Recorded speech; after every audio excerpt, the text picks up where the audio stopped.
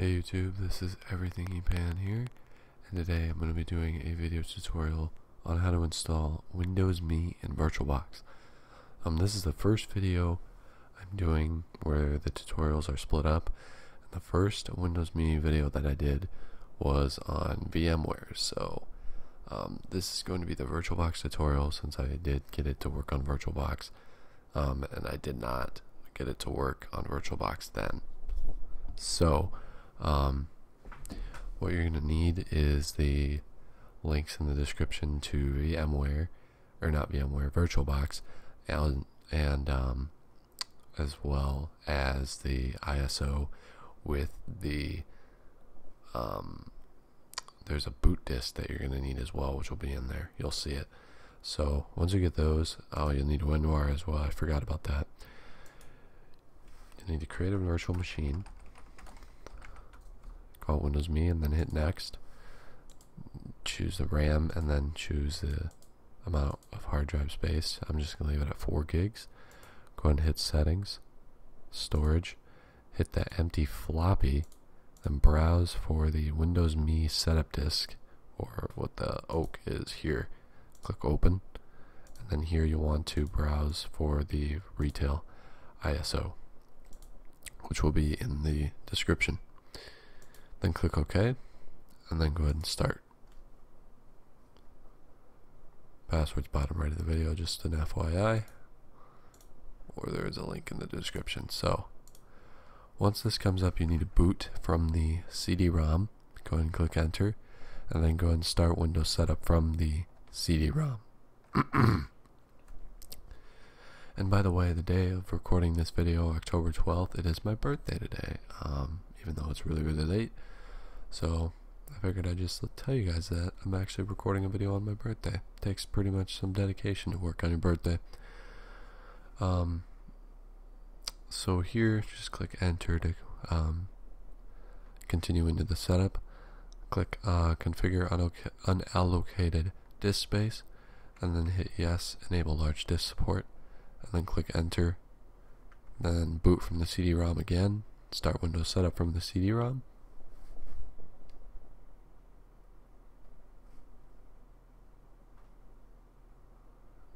And then what it's going to do is it's going to format your virtual drive. And then we'll go through a disk check after it is finished uh, formatting. So just kind of let it do its thing here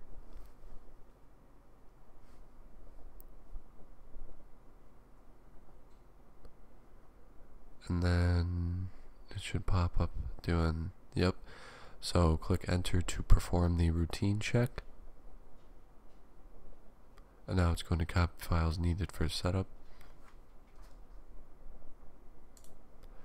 So go ahead and click next to continue on the welcome to Windows Me setup screen. Accept the license agreement and hit next. And now the product key is in here, so this will be included with the ISO as well.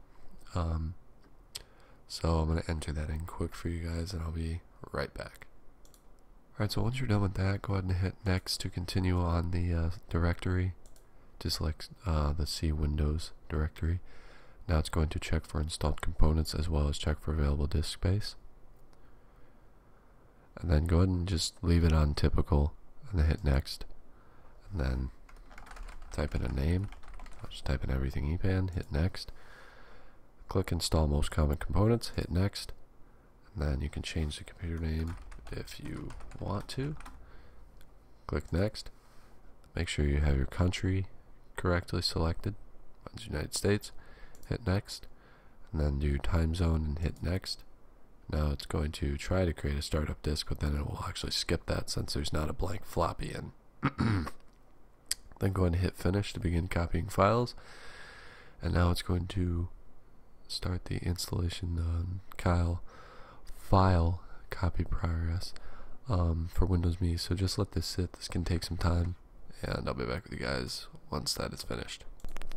Okay, it's now it's done, it's ready to reboot, so it's already going to reboot automatically since I just started and didn't even click the restart now button, but um, now when it's up to this menu, since the floppy is still in, go ahead and boot from the hard disk.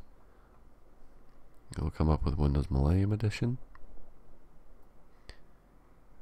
Now it's going to initialize and then it's going to set up plug and play devices. So this can take some time. So just kind of let it sit for a little bit. And then it's going to, excuse me, it's going to detect non plug and play hardware as well. So kind of just let this sit for a little while. It's just going to kind of detect some stuff and do some other processes. So just kind of let this sit for a little bit. So now after it's done with all that, it's going to do another restart. So go ahead and hit restart now. And then boot from the hard disk once again.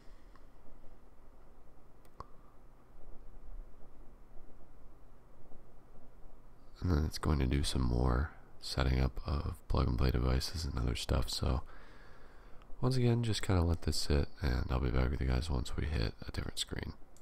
So after a little bit, it will set up the control panel, programs on the start menu. It'll do Windows help and um, I don't know what it says before that. It says something application start and then uh, the saving configuration and stuff. So now it's updating system settings and uh, it shows your component progress here and your overall progress down here. So this means you are almost finished. So just kind of let that go through and I'll be back with you guys in a minute. Okay, so this should be our final restart point. So go ahead and hit restart now after all this is finished. And then go ahead and boot from the hard disk one more time. And if it does a successful boot, then you can take out everything. So here we go. Now it should get you to the logon screen. Go ahead and click OK. It's going to update system settings and it might play the logon sound. We'll see. I'm not sure if it will or not. We'll have to see what it does after loading system settings.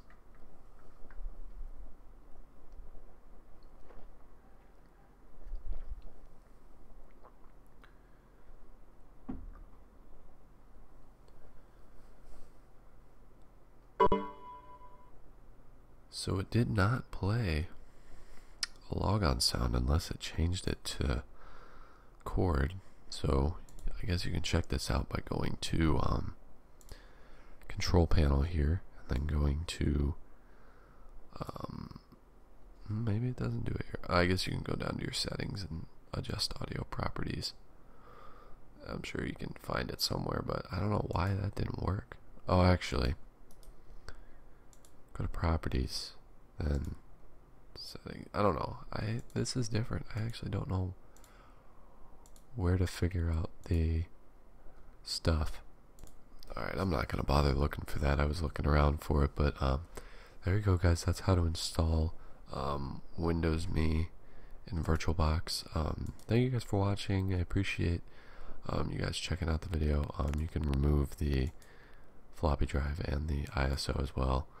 Um, but this is the first video that was split up, uh, or the first video that I did after the uh, announcing of the tutorials being split. So um, thank you guys for watching. Um, so now VirtualBox people can uh, get the taste of installing Windows Me instead of just watching from a VMware standpoint. That's kind of why I'm separating these, just because that way I can show it both ways.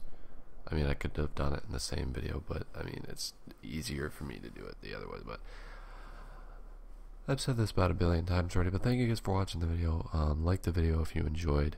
Um, make sure to share the video as well um, so that other people can use this tutorial. And then um, comment your ideas down below on what I should do for um, for uh, VMware tutorials or whatever. Apologies, that was my headset.